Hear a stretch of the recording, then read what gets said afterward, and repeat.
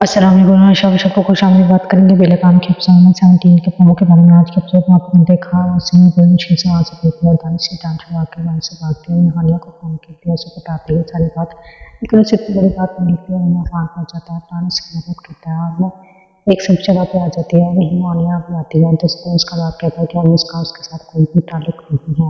और वो एक एड्रेस की जॉब करती है और दोस्तों उसका बात कहता है कि अब हमारा साथ कोई बड़ी मुझे ढूँढने की कोशिश नहीं करनी आंटी लिए जाते हैं, वहाँ पर उनकी खरीद हुआ। उनके काफ़ी अच्छी टिकटॉकड़े होते हैं, उसका बाप चलता है और उसकी मौत हो जाती है। इससे बात से रमशा काफ़ी परेशान होती है तो इस तरफ़ उसके बिज़नेस की बात कर रहे थे। रमशा इस सबसे निकल नहीं पाती है, हमारे एपिसोड में देखेंगे वो काफ़ी परेशान होती है। और फिर फ़ोन करते हैं, लेकिन उसके सारी फ़ोन उठाते हैं, लेकिन वो बात नहीं करती है खान को फ़ोन करते हैं तो उसे हॉस्पिटल लेके जाता है, उससे कहता है तो मेरी एक बात मानो अपना पता चल जाए तुम्हारे घर वाले काफ़ी परेशान हो रहे हैं तो इस तरफ़ रमशा उसे दानिश का देखते हैं, वो काफ़ी परेशान हो जाती है, और वहीं वो एल से हैं, कहते कि मुझे नहीं पता कि लड़का कौन है तो उसकी माँ कहती है क्या तुम्हें पता है कि वो कैसा दिखता है? जब उसके कमरे में जाती हूँ, उसका बात करता है, मेरा उससे कोई भी ताल्लुक नहीं है और उसकी सारी चीज़ें करके चला देता है उसकी माँ के सामने।